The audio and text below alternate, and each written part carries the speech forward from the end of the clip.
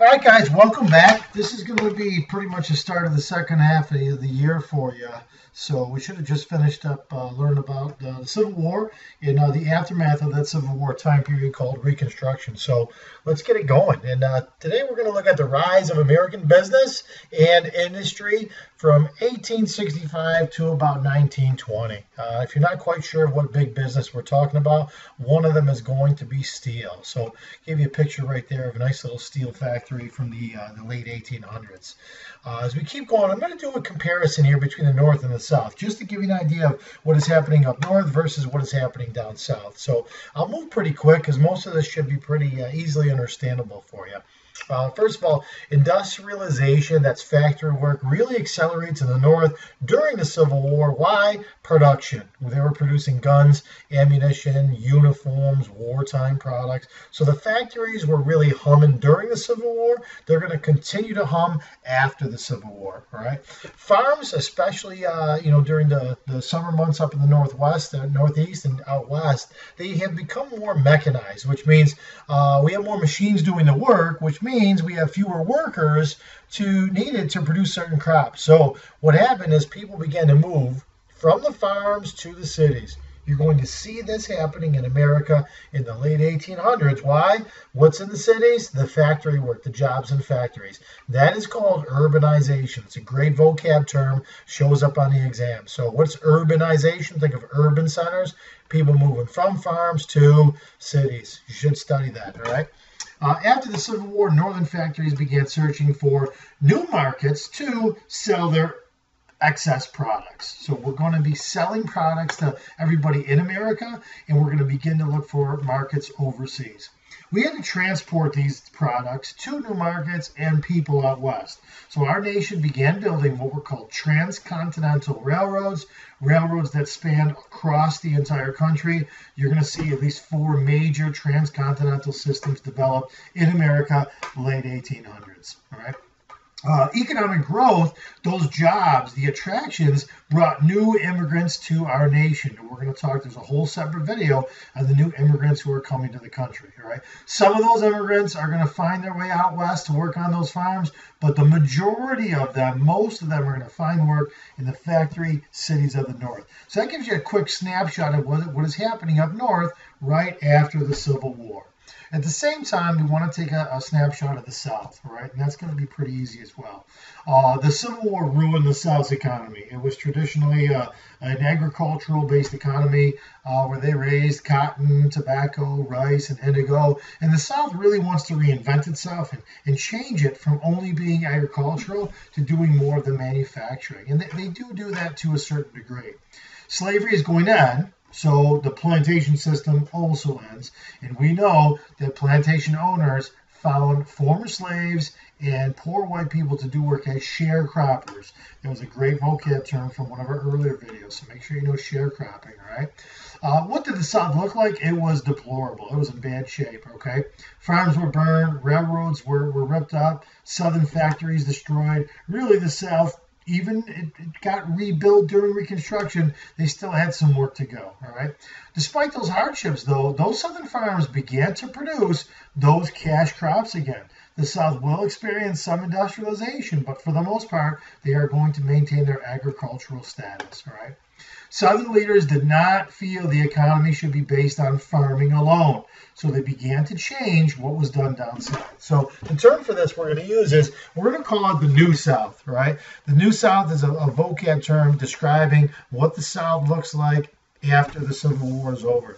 It also is used to describe some of the race relations that developed down south. So, what, how did the South's economy change? You should be aware of this. So, predominantly agriculture, still farming cotton and tobacco, but we're going to rebuild those railroads. There are some textile mills being built down south. There are a few steel mills down south. There's new industries opening up, like you know, digging for oil and digging for coal in certain mountainsides, certain areas of the south. So they continue to try to industrialize, but they are going to lag behind the North. Right? They aren't going to industrialize as much as they want to. All right. How do we know that? Most of the jobs down south are still agricultural, predominantly agricultural.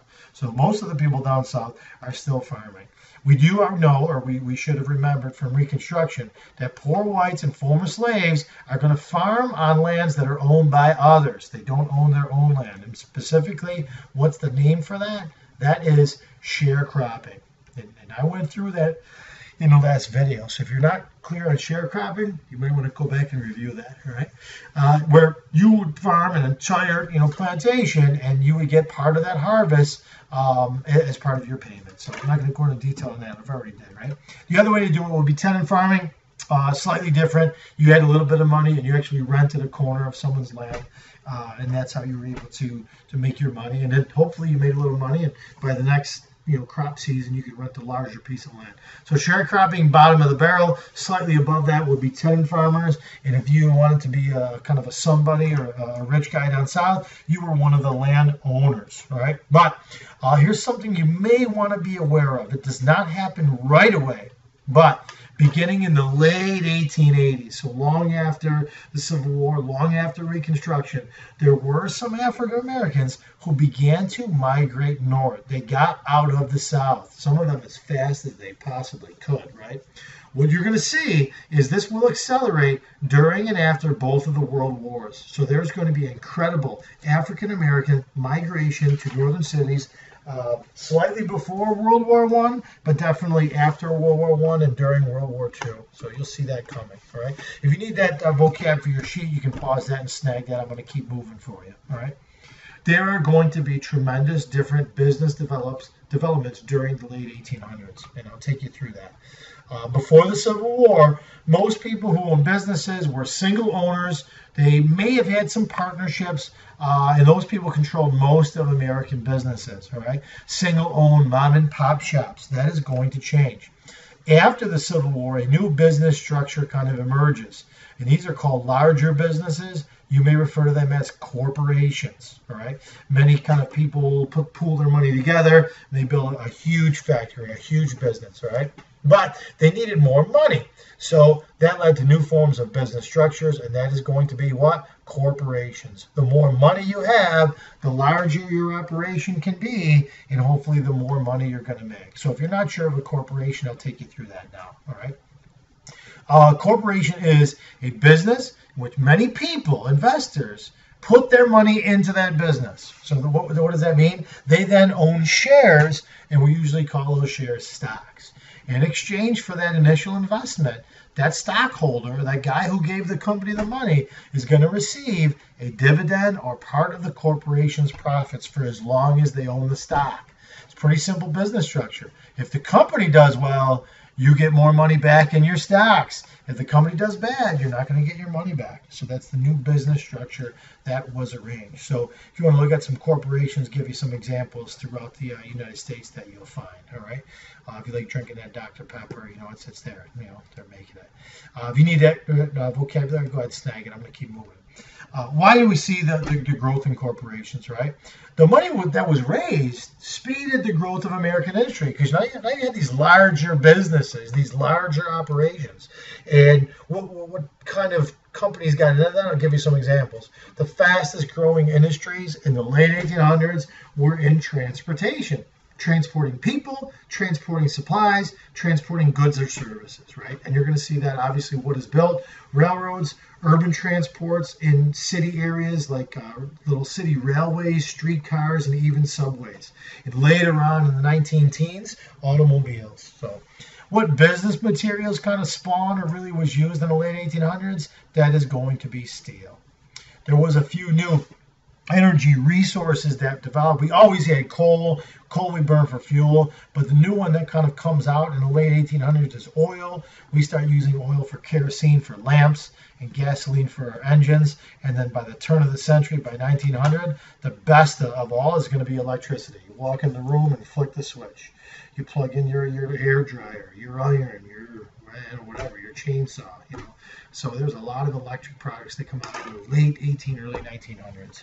Uh, communications definitely develops. We had the telegraph since like the 1840s. By the 1870s, we have the telephone. Eventually, we have the radio where we can transport uh, different information for people. So an early, uh, early with telephone. Nice little picture there showing you early telephone.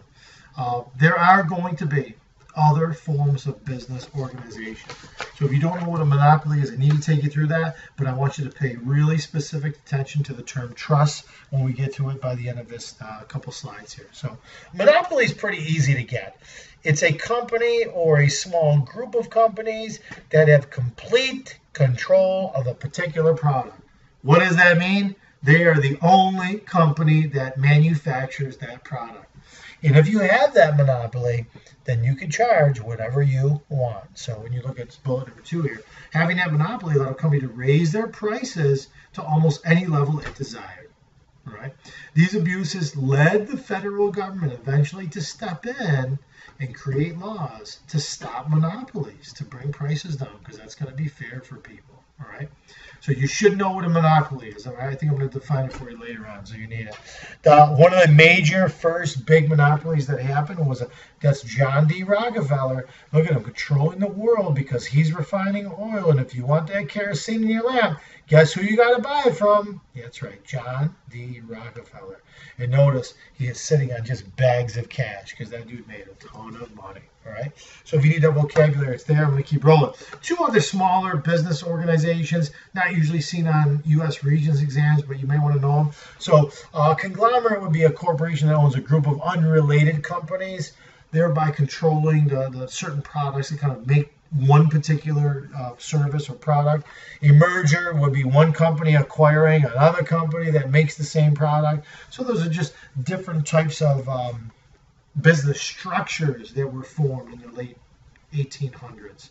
Now, pooling is done by railroads. So, what you usually have is multiple railroads or multiple railroad companies would be going through one particular city. Instead of competing with each other and keeping prices low, they would actually fix prices and divide the profits. So, those two railroad companies going through your little town, they would all jack up their prices and make you pay it, and then they would split up the cash. So, that's called pooling money, all right?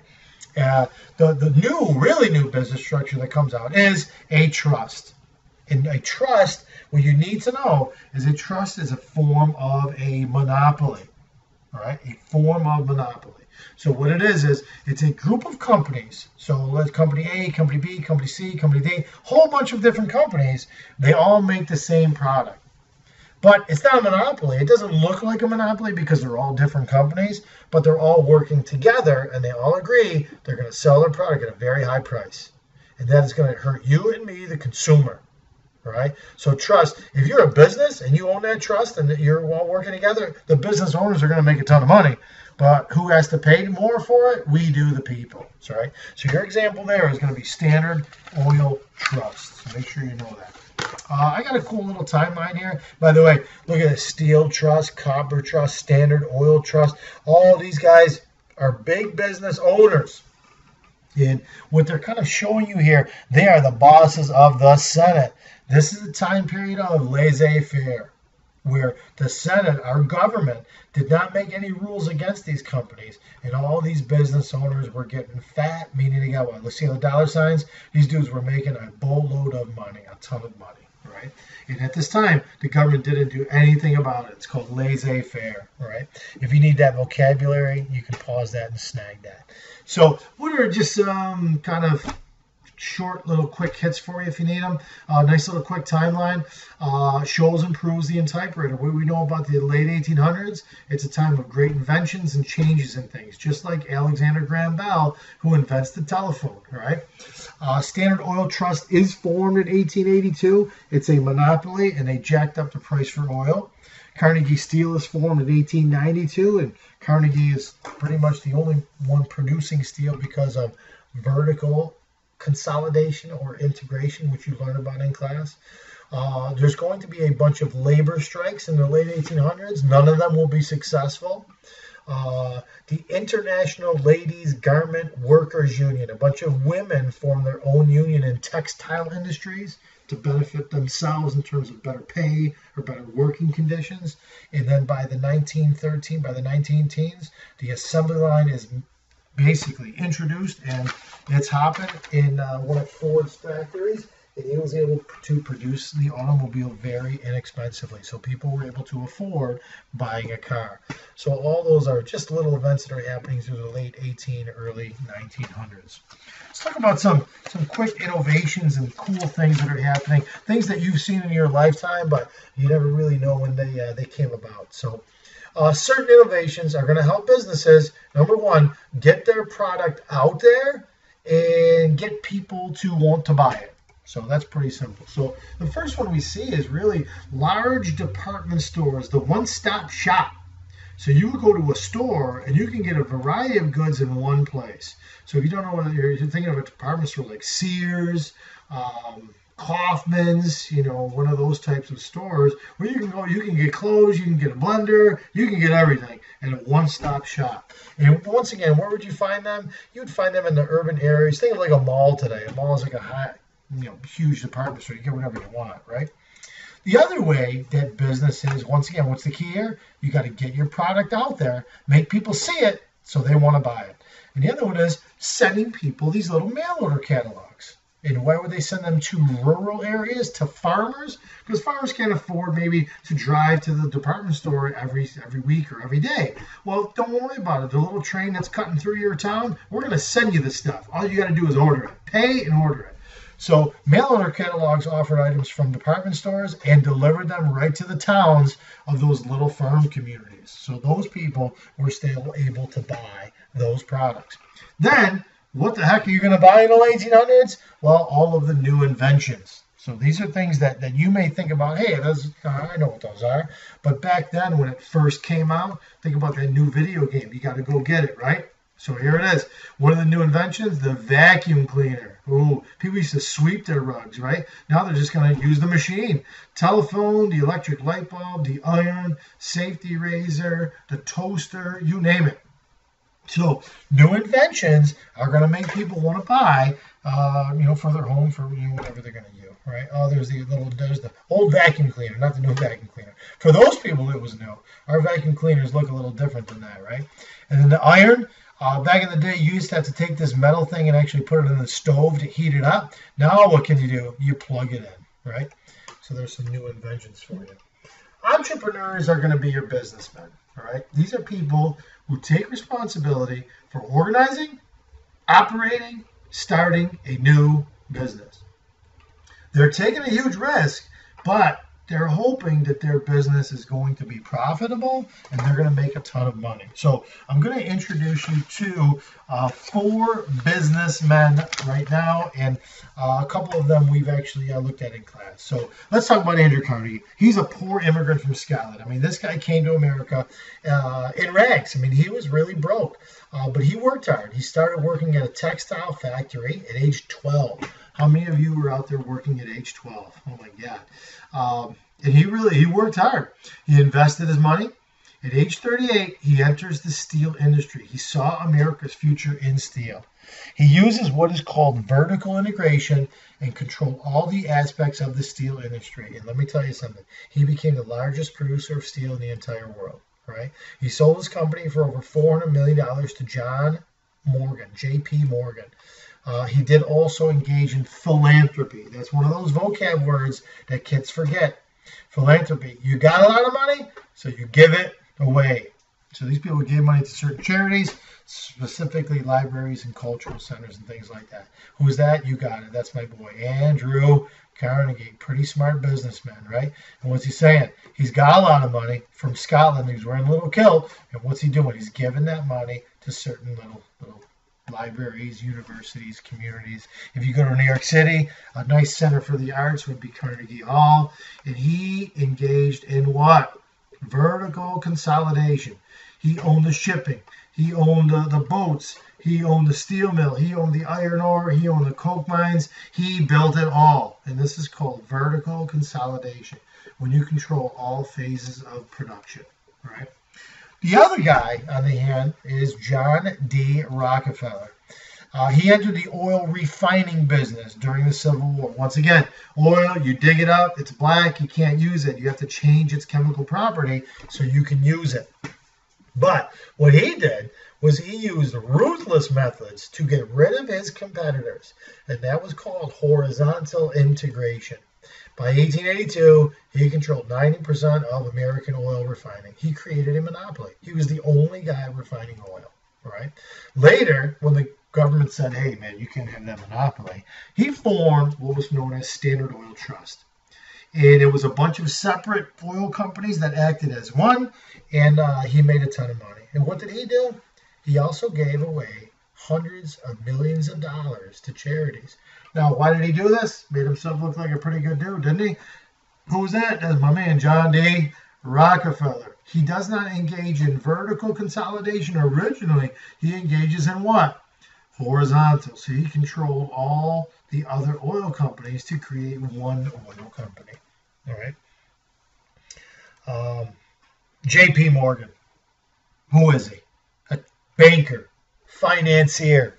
He is a guy who starts out with just a ton of capital, which is money to get started. So he made his money in banking, but uh, he also started to buy other bankrupt railroad companies.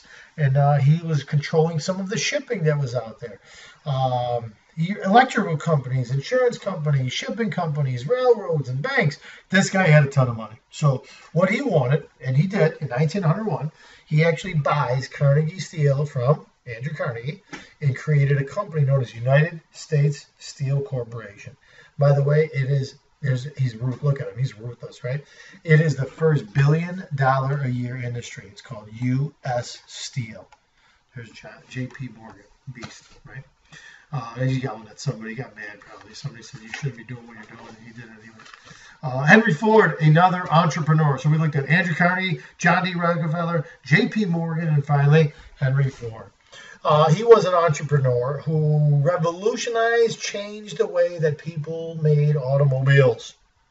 Originally, uh, how did we make automobiles? One guy would build the car from soup to nuts, from the tires all the way to the engine to the roof, and then sell it. Well, that took a long time. So, what Henry Ford wanted to do was mass produce these cars, create an assembly line. It lowered the cost of production so he could sell cars cheaper than anybody else. And basically, that dude sold a lot of cars. You may see his name still today, right? Look at this. I mean, that's Henry Ford. Look at this. Unbelievable. Ford. Buy it because it's a better car. 650 bucks for the Model T. And before this time period, if you were to buy that car, it would probably cost you like $2,000. But with the assembly line, they can produce it quicker and cheaper than anyone else. So now the cost of the car goes down. More and more people are going to buy the automobile. All right. What's that? What are you looking at? You better know. It's an assembly line, right? So this guy does that all day long, and that, that guy does his part all day long, and that guy does his job, and the cars just keep running, humming. Uh, that's what factory looks uh, work looks like today. Although you probably today see more machines than people, right? Um, vocabulary, you got to know what an assembly line is. You associate with that with Henry Ford, right? There are going to be some attitudes towards business. Should people be doing this or not? Um, and some are positive and some are negative. So let's just take a peek. Traditional attitudes were found in books written by Horatio Alger Jr. If you don't know him from class, you forgot him, you're going to get it again right here. Horatio Alger focused on people's individual efforts. So if you read any of his stories, they're about poor boys who got rich. They're the Andrew Carnegie story by working hard we give a name to these stories, right? They're called the rags to riches. You came to America poor, you're walking out rich, baby, because you work hard and made it, right? His novels also illustrated, if you go back to the colonial day, the idea of the Puritan work ethic, right? If you work hard, it's going to build your character, it's going to make you a better person, and that hard work and that, that toiling, that itself is its own reward. You feel good about yourself when you accomplish something. So that's the what, what his attitude was towards the, the working field. So you got to drift in New York. You know, Horatio Alger Jr. There's a book by him, Bound to Rise. Little boy working hard as a little shoe cobbler. Eventually, he's going to own the shoe store, right? Uh, from rags to riches, the American dream. Immigrants come poor. You work hard, you get rich. Now, there are some governmental attitudes towards business. And the first one that you should focus on is laissez faire, lazy government. It's the idea that the government should not interfere in the economic workings of a nation, should not tell private businesses what to do. Let Andrew Carnegie do what he needs to do. Let John Morgan do what he needs to do. Leave business alone. That's laissez faire. And to couple that, to go with that, is the free enterprise system, right? Private individuals make all the economic decisions. The government does not get involved. Just let it flow, let it happen. And that pretty much was the government's attitude in the late 1800s. The government did not get involved. Uh, if you need the vocab, I got it for you, but there's one more that goes along with it, and that is social Darwinism. Now, you know who likes social Darwinism? Andrew Carnegie, John D. Rockefeller, Henry Ford. They're like, listen, we're rich and our companies are great because we're great leaders. Leave us alone. So they they used what Charles Darwin said about the birds and evolution. And if you remember anything from your science classes, what happens out in nature? It's called the survival of the fittest. Rich birds survive, weak birds die. And does anybody mess with the birds? No, just let it happen. So they took that theory and they applied it to the business world. And they said, hey, weak businesses are going to fail simply because they are weak and inferior. Strong businesses are going to survive because they're better run businesses. And to go along with that, the government should not mess with those businesses. Keep the government out of it. Just let it flow. Let businesses do what businesses do. All right. So if you need that vocab for social Darwinism, it's there for you, right? Now, there's two different ways we can look at these these business uh, owners, these entrepreneurs, if you will. Right. Number one, uh, we can call them either robber barons or captains of industry. So I'm going to give you both of those in a minute here, right? Uh, there was a big gulf. There was a big rift between rich and poor. And some Americans began criticizing laissez-faire. They saying, "Hey, wait a second. Maybe the government should get involved." Right? Uh, in this viewpoint, those people who feel that the government needs to help them would be calling the uh, entrepreneurs robber barons. So, who are these robber barons? These are the rich, the industrialists who gain their money by ruthless methods and jacking up their prices. And who hurts? The poor people. Right? So that's what robber barons are, right? Um, philanthropists or the rich industrialists like Carnegie and Rockefeller, who donated their vast sums of money to different charities, they're going to call themselves, they're going to say, hey, we're not robber barons. We're just captains of our industry. We're smart businessmen. And look at all the good we're doing. Leave us alone. The government should stick with laissez faire, right? Uh, now, the question arises did the rich donate money because they were good people? Or did they want to look like good people so the government would keep to laissez faire and leave their businesses alone? I'm not going to answer that question. That's up to you. All right. So we're going to take all oh, this is phenomenal, right? The protectors of our industry. Like who's protecting these industries? Look at all these people working, working, and who's getting fat, right? Uh, you know, Robbie Gould and Vanderbilt and all these, these rich guys up here, right? And what's in store for these people? Look down here. You see it? Bottom right? Hard times. Long hours, low pay, sucks for the people. These rich dudes are just getting fat, right? Looking good. So we're going to take a look at government policies towards businesses and then what the government is going to do about these business structures, all right? So government really didn't do anything to big business in the late 1800s. They actually aided them by doing nothing by what's called laissez-faire, right? They gave actual money, they gave land to railroad companies, they increased tariffs that made foreign products more expensive, so that discouraged manufacturing. Uh, I'm sorry, discouraged competition from other manufacturers. So it helped those people sell their products in America, and they actually tightened the limits on the amount of money in circulation, which actually increased prices. Well, increased prices, making sure your products are sold, help from the government, no rules. That allows people who own businesses to make a lot of money. Plus, they had a bunch of immigrants walking in and working in their factory for peanuts. So it looks to me in the late 1800s, the government helped private businesses. To go along with that, the government began to say, hey, we might want to get our hands in there. In the late 1800s, the federal government actually began to regulate businesses. So they're going to tell private businesses what they can and can't do. So why did they do that? Well, there were certain downturns or certain kind of mini mini recessions or depressions in the national economy, and the government wanted to keep the economy rolling. There was a lot of criticism against the practices that saw big business make a ton of money at the expense of the working class and the poor people. The rich were getting richer and the poor were getting poorer. Some people felt the government needs to step in. All right. There was also some small movements, grassroots political movements, to put pressure on the government to begin to regulate, to begin to change things. So we're going to talk about the Supreme Court and then the actual Congress in a minute.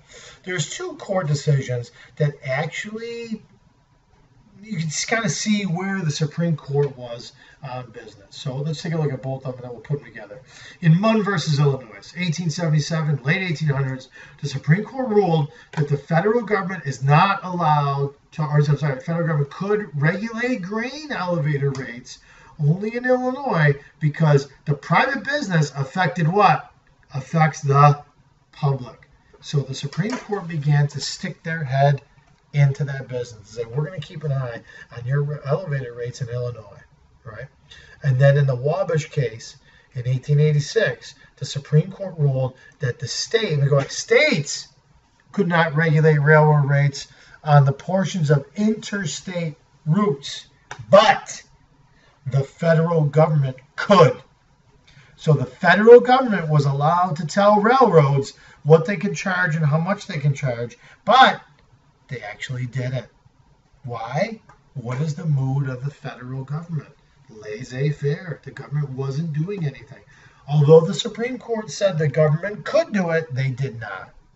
Now, when does that all change? You should know about the Interstate Commerce Commission if you don't pay close attention right now. By 1887, there was so much pressure for reform Congress created a law that is still around today. What is the law? The Interstate Commerce Act. The act is the law, and it creates the Interstate Commerce Commission. So if you don't see the ICC, there it is. What does it do? The ICC ended railroad pooling, railroad abuses, and railroads who were jacking up their prices. They basically told railroads, your prices have to be fair, and we will be watching. This is a step away from the government doing nothing. Now the government is doing something. All right. It also ended discounts. So a railroad company might give Andrew Carnegie like a huge discount, but it wouldn't give it to the local farmer. Well, the ICC says, listen, if you're going to give a discount, you have to offer that discount to all of your customers. It can't just be your buddy. All right.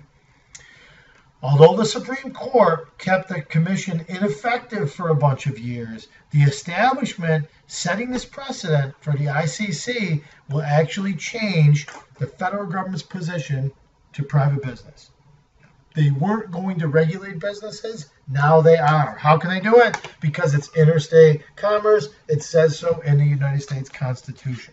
Let's bring this thing home. The last piece the Sherman Antitrust Act created by the government in 1890. I like the name of the law because it tells you exactly what it's designed to do. Break up that trust, break up Standard Oil Trust. So by the late 1800s, large companies, trust, had gotten rid of competition, created monopolies, and these companies are jacking their prices up. Well, what's the Sherman Antitrust Act say? It prohibited these companies from doing that. It said trusts were illegal. You can't do that to people, right? Now, although the government didn't enforce this law until after 1900, is it still a good law? I think we can agree. That's a yes. So it's hanging around for 10 years. Eventually, the government starts to use it. And you'll see Teddy Roosevelt use it, right? And then finally, the United States uh, versus EC Knight Company.